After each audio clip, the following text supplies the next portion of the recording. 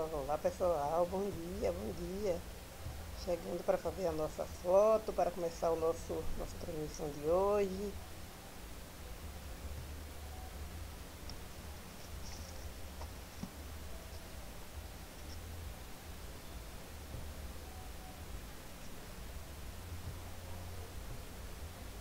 Pronto, e vamos lá.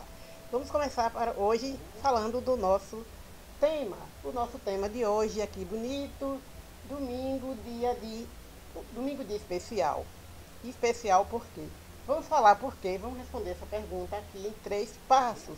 Por que, que o domingo é um dia tão especial para todos nós? Já damos uma dica, você já pode imaginar por quê.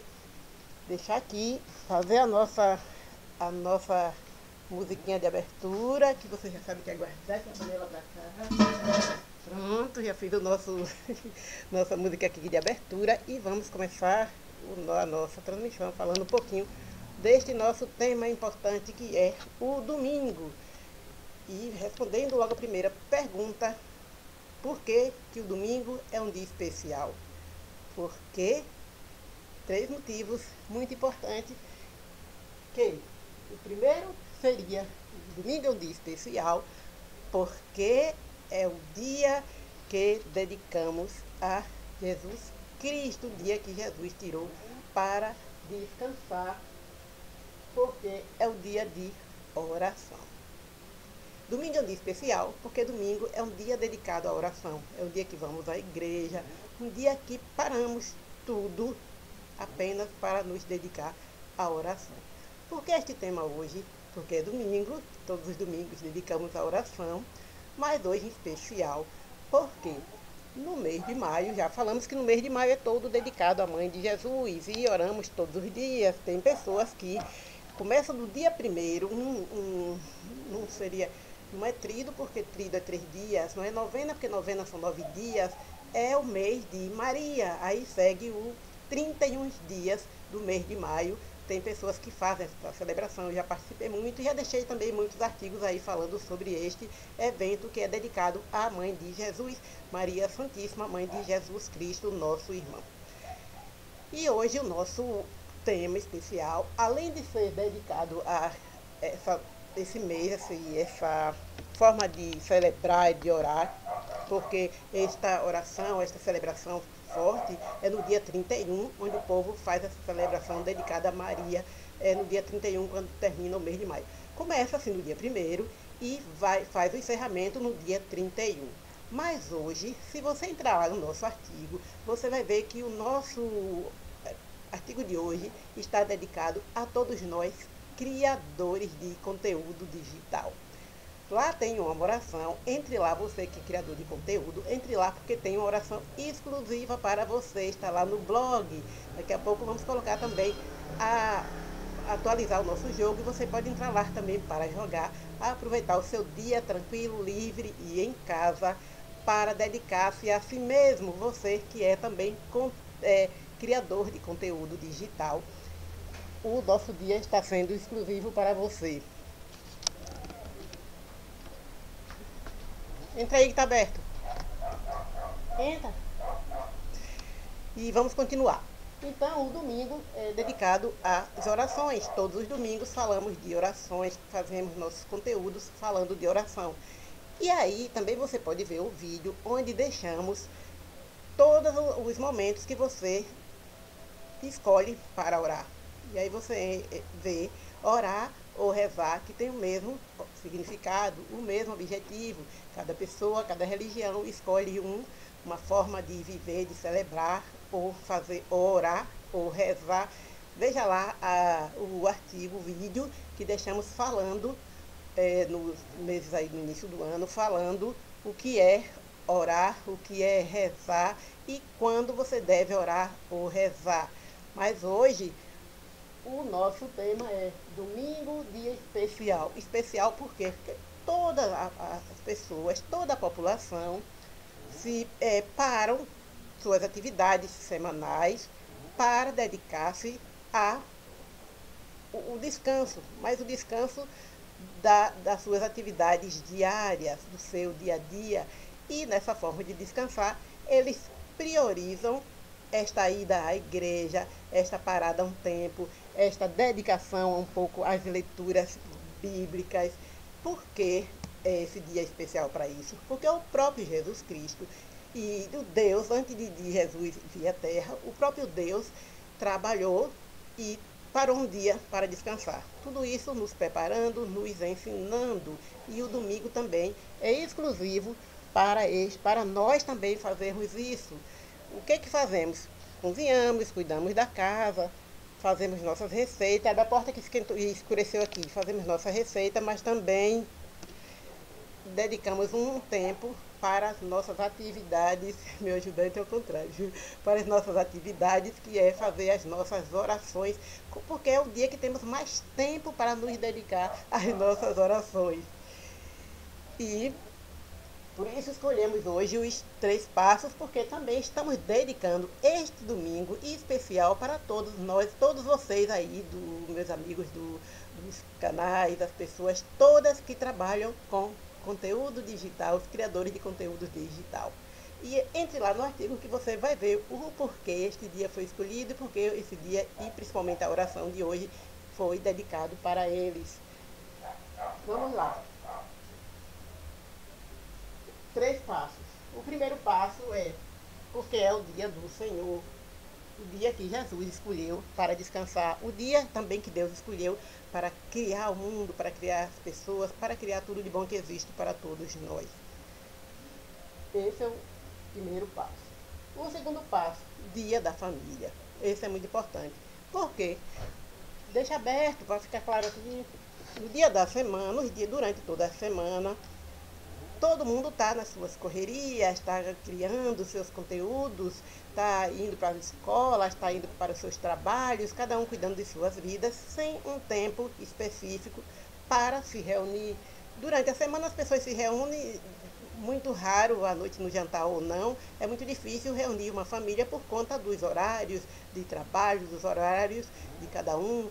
É, quando um chega para almoçar, é a hora que o outro está saindo para chegar no tempo certo no trabalho, na escola, e assim esse corre-corre, que só o domingo é o dia onde podemos encontrar todo mundo, porque é o dia que está todo mundo em casa, um dia do descanso. Imagina se Deus não tivesse criado este dia, não teria um momento onde as famílias podiam se ver. Eu já ouvi relatos de pessoas, famílias que o pai sai todos os dias para trabalhar cedo, 5 horas da manhã, de forma que não consegue nem ver o filho, porque quando chega em casa, o filho está lá dormindo, aí o pai, para não acordar, é, nem vai lá dar um cheirinho, conversar, ouvir. Falamos tanto em educação, mas nessa presença dos pais está ali, está conversando com os filhos, está trocando experiências, trocando ideias, mas sabemos que agora nesse tempo de pandemia não é tanto, mas no tempo normal, sabemos que há, existe pais que não têm esse tempo de nem ver os próprios filhos brincar, ouvir, acompanhar de fato os crescimentos e por vários motivos. Um por conta desse corre-corre, outros que trabalham à noite, porque existem muitas empresas, muitas é, indústrias, muitos lugares que trabalham à noite, outros porque viajam, o trabalho é longe, e existem muitas formas de que impede os pais estarem ali o dia a dia e acompanhando o crescimento e essa educação tão perfeita que falamos dos seus próprios filhos por conta do corre-corre do dia a dia. E aí, como Deus é perfeito em tudo, preparou uma forma que, em algum momento, o pai vai fazer isso, vai poder fazer isso. Porque, mesmo que o pai viaje, mesmo que trabalhe fora, quando ele estiver em casa, o domingo vai estar exclusivo para isso, porque ele vai estar em casa, o filho também vai estar, não vai acontecer o pai está em casa e o filho está na escola. E aí ele vai ter todo o tempo para aproveitar a sua família, à noite até a hora de dormir, vai ter aquele tempinho para contar historinha, botar seu filho para dormir. Ele vai ter todo o tempo porque o filho vai estar em casa para ele brincar, conversar, ver atividades. Vai ter a semana, vai ter aquele tempo que ele está em casa, mas especialmente o domingo, porque ele vai poder ir para a igreja com seu filho, ele vai poder conversar, ele vai poder mostrar. Deixamos também outro vídeo aí, onde falamos que as pessoas que, que não vão à igreja, que não vê aquele, não prestam bastante atenção naquela parte onde o, o padre fala do cálice e da hóstia, que as pessoas têm olhos ruins, olhos mal, é, maus, que podem ter olhos e mãos é, e maldita, que o que não é abençoado é, é do mal, é, nesse sentido de pode fazer mal, causar algum mal, e isso existe de verdade, as pessoas não acreditam, mas existe. Existem pessoas que têm ouvidos, que conseguem ouvir mal, tem pensamento que conseguem pensar o mal. A prova disso é que você vê que os, os males existem. Por que, que existem? Porque tem pessoas que olham, mas não olham com o olho do bem, olham com o olho do mal. Ouve, mas ouve com o ouvido do mal, de ouvir uma palavra e entender, tornar com outro significado.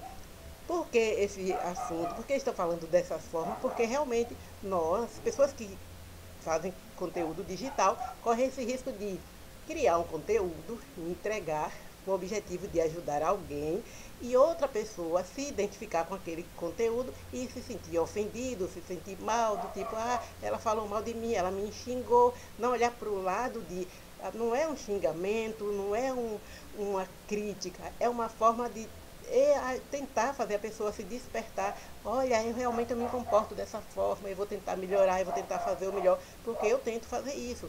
Porque o que falamos no último aqui conteúdo, que nós não conseguimos enxergar os nossos próprios defeitos. Todos nós, infelizmente, não conseguimos enxergar o nosso próprio defeito.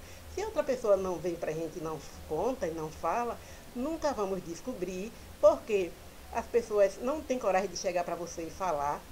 Amigos, as pessoas de perto de você não têm coragem de chegar para você e falar: Olha, Fulana, você tem esse defeito dessa forma. Sabe por que não falam? Porque vai saber que você não vai aceitar, você não vai querer ouvir, e aí ninguém tem coragem de chegar e, e falar. Mas se alguém te fala, qual o seu papel? Agradece, fica grato. Mas hoje em dia, infelizmente, não é assim. Nem com os próprios pais, os filhos têm este relacionamento, esse entendimento de se o pai chama um filho atenção hoje, gera confusão, abandona a casa, sai de casa, briga, perde o filho.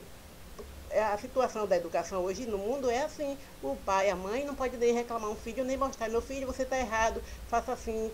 Principalmente se for adolescente, se, for, se já cresceu. Porque eu, eu tenho os vídeos anteriores, eu digo que eu tive filhos até os 10 anos. Quando eles tinham até 10 anos, eu tinha os filhos. Depois que fizeram 10 anos, cada um ficaram por conta própria, eu não tive mais filhos, não tenho mais filhos.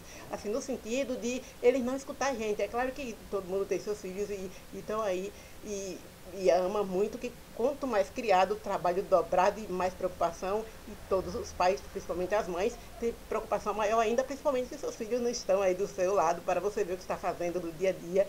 E aí as pessoas que criam conteúdo têm essa, essa, esse momento para criar o conteúdo com o objetivo de que ele chegue lá onde seu filho está, aconselhar. Esse é o maior nosso objetivo, levar o nosso conteúdo a pessoas que realmente precisem, a continuar fazendo o nosso papel de mãe, de longe mesmo, como Maria está lá no céu fazendo por nós. De lá, ela continua nos ouvindo, nos olhando, nos abençoando e nos livrando, principalmente nos livrando do mal. Por isso que existem tantas pessoas que dedicam esse mês inteiro para fazer orações e, e, e preces e fazer esse, esse 31 dias de, dedicado à Mãe de Jesus, porque sabemos através de nossa fé que ela existe e que pode estar de lá com o seu manto sagrado olhando e nos cobrindo, nos livrando, nos livrando do, dos males da terra, principalmente de pessoas que nos olham com esse olhar de ela é uma miserável que ela está me xingando, ela está falando mal de mim,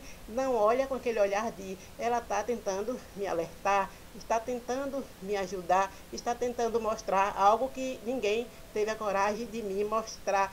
E por isso esse dia, este domingo, está sendo dedicado a todos vocês, criadores de conteúdo digital, porque para que as pessoas observem que somos apenas profissionais tentando buscar nossa forma de viver também na sociedade e o objetivo maior do trabalho de um criador de conteúdo é apenas tentar resolver um problema de alguém, porque nós, quando nos propomos a fazer esse trabalho, tudo que observamos, que aprendemos, é perceber problemas do outro. Porque o trabalho de um criador de conteúdo digital é tentar resolver o problema do outro. Então, para isso, ele consegue ver o problema onde ele está, seja lá onde for, independente da pessoa ter pedido, da pessoa ter mostrado, porque quando o, o, criador faz um conteúdo, ele não faz específico para vender a uma pessoa. O conteúdo feito é para que chegue em milhares de pessoas.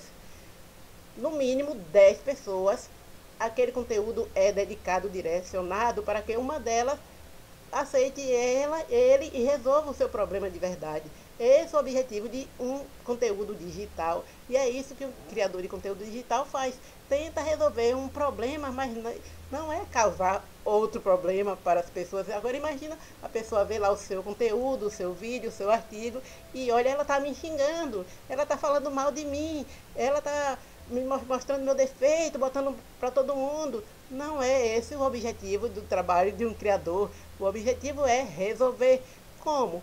Olha, mostra aqui os passos. E aí você vai lá e se identifica, em, em, dentro daqueles você se identifica.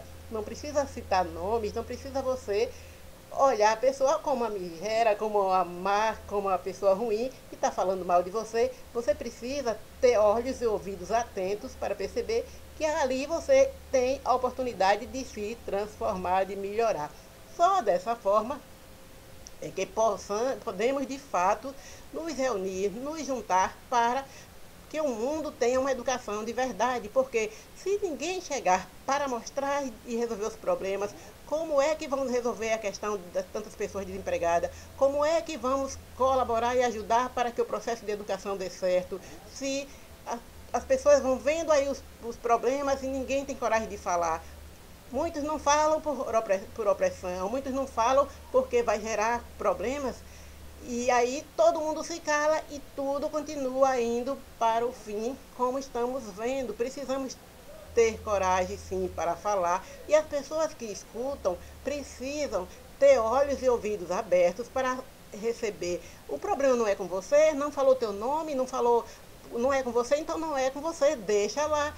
Se falou teu nome, falou com você, falou, olha fulano, isso é com você, você é essa, aquela, aquela outra, pronto, te xingou, é outra história. Mas se o problema é uma questão que está falando um conteúdo para alcançar as pessoas que, eventual, que têm aquela necessidade de receber alguém que alerte, o deixa lá para que outras pessoas recebam e saibam agradecer, porque é isso que devemos fazer. Quando eu descubro aí uma pessoa que me ajuda a resolver um problema, porque recentemente eu estava com um problema aqui terrível, eu não sabia o que era thumbnail, eu não sabia o que era fazer uma foto, do jeito de fazer uma foto, e aí eu vi a pessoa lá, fez lá e falou e criticou o meu.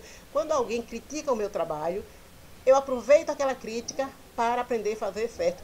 Todos esses anos que eu venho fazendo meu trabalho aqui, eu recebo a crítica, pego aquela crítica e transformo em uma aula para que eu melhore. E é assim que eu faço. Foi assim que eu aprendi a fazer poesias, versos, eu, eu escrevia, achava que eu fazia poesia, mas não era poesia. Eu juntava as palavras e achava que era poesia. E eu aprendi a fazer a partir de uma crítica. Eu inventei participar de um, de um, de um concurso onde vários é, poetas já participavam. Eu achava que eu sabia e me meti lá no meio dos poetas. Aí foram lá e criticaram duramente.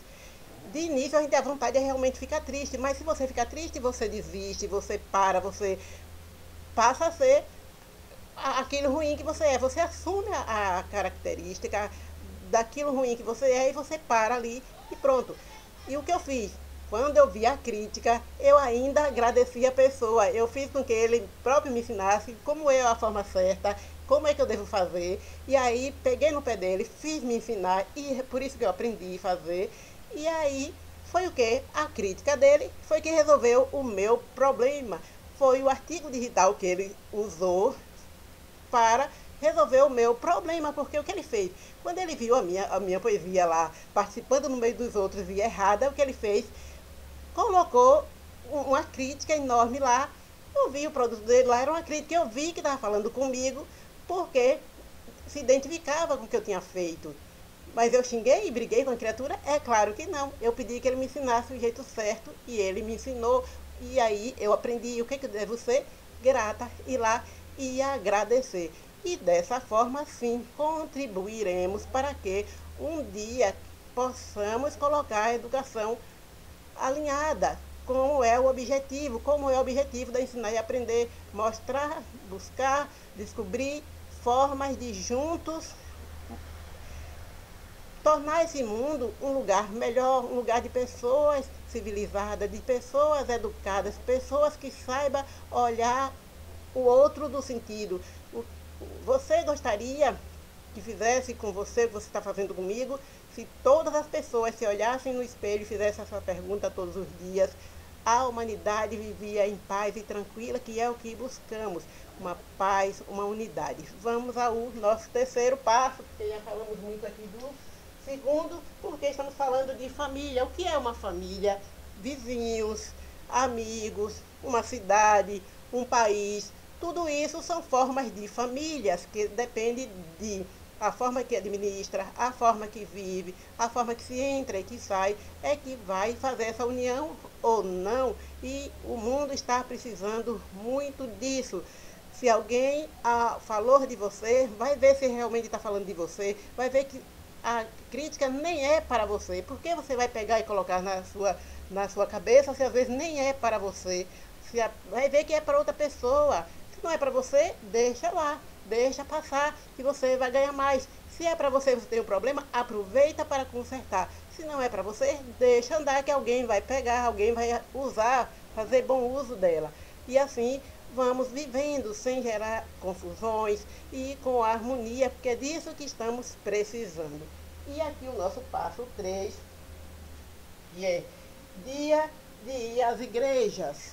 Porque o passo 3, o domingo, é o dia especial, o dia de ir às igrejas, porque lá é que vamos nos fortalecer nossa fé para que possamos viver tudo isso que acabamos de aprender no passo 1 e no passo 2. Porque se você não tem uma fé forte, principalmente criadores de conteúdo, se não tem uma fé forte, quando a crítica vier de lá, porque colocamos os nossos artigos e, e pedimos, comentem.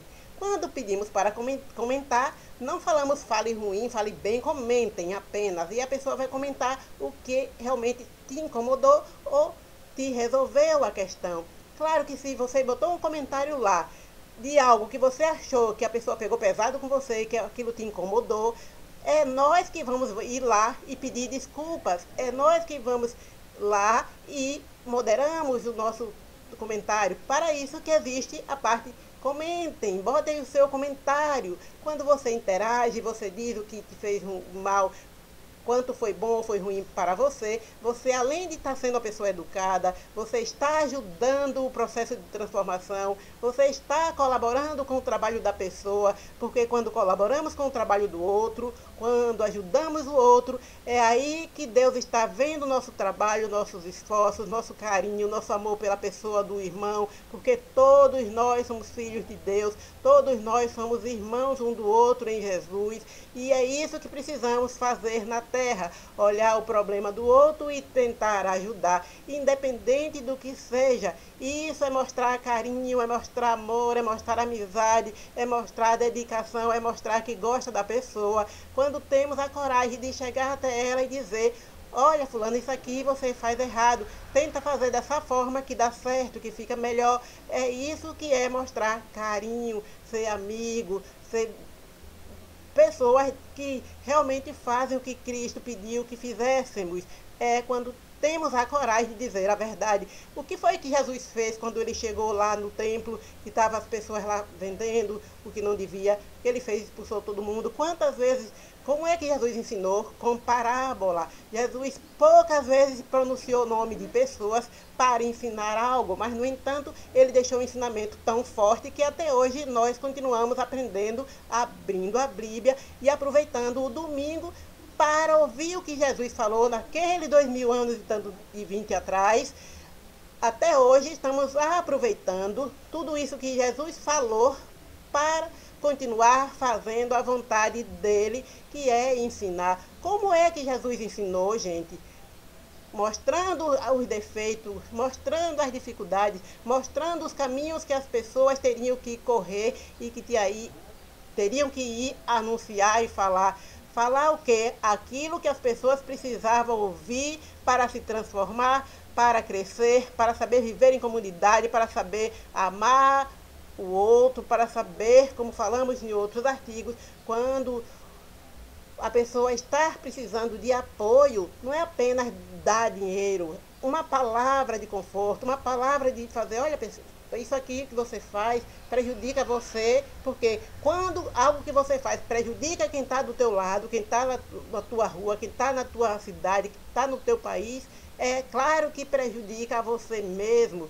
E aí é isso que os criadores de conteúdo faz, tentar mostrar a forma de você se descobrir através daquilo que está ali escrito, você consegue se descobrir e resolver aquele problema que você está precisando. E é como eu digo, aí as pessoas tem um emprego, tem seu dinheiro certinho, já acha que tem tudo. Quando você tem uma boa casa, um bom carro, um bom emprego, uma boa conta no banco, você não tem tudo se você não sabe valorizar o outro que nada tem. Se você não sabe valorizar o outro, respeitar o outro, ouvir principalmente o outro, você não tem nada, nada seu tem valor, porque tem valor é aquilo que você mostra de carinho com a pessoa que está do seu lado, é o respeito, o amor que você dá às pessoas através de saber ouvir, saber valorizar o que não tem nada também, porque todos nós somos filhos de Deus iguais perante ao Criador. Não existe essa coisa de você é feia, você tem cabelo duro, você é essa, você é aquela, você é pobre, você é mendiga, você tem, não tem dinheiro. Não existe isso quando chegarmos no céu. Todos somos pessoas iguais a um só, porque foi assim que Deus criou a humanidade. Não tem pessoas, essa pessoa, aquela pessoa, aquilo outro. Existe a humanidade, como a comparação que eu fiz aí em outros vídeos. Deus criou uma espécie que formou como se fosse uma grande árvore que dá frutos. E aí Cada parte dessa árvore vai escolher o que quer ser, que tipo de fruto dá, se azedo, se doce, se ruim, se bichado. É cada um que vai escolher seu tipo de fruto. E sabe o que acontece se a pessoa acompanha, aproveita os seus domingos para ler a Bíblia, para ir à igreja, para fazer o que Deus pediu, para fazer o que Jesus veio na terra fazer, vai saber o que é ser uma árvore boa, o que é ser uma árvore ruim, o que é dar fruto bom, o que é que uma pessoa deve ser, como deve ser com o, o a pessoa que está do seu outro lado. Tudo isso você aprende no domingo, indo à sua, à sua missa, ao seu culto, orar, rezar, fazer o que você faz. O importante é você falar de Deus, é você olhar a pessoa do outro como a pessoa de Deus, porque foi para isso que Deus mandou Jesus para a terra. Transformou em um homem e mandou. Por quê? Porque somos humanos, somos pessoas humanas, independente de ser homem, mulher, menino, criança, antes de tudo somos humanos. E aí, dessa forma humana, é que o espírito se invoca na pessoa para que você seja vista como criatura de Deus, independente de sexo, de idade, de tudo, você, antes de tudo, você é pessoas humanas. Somos a plantação específica, especial que Deus jogou na terra e pediu que faça a vontade do Pai. Vá, ensine, faça, viva. Aí como, como que ele ensinou isso? Como que ele falou isso pra gente?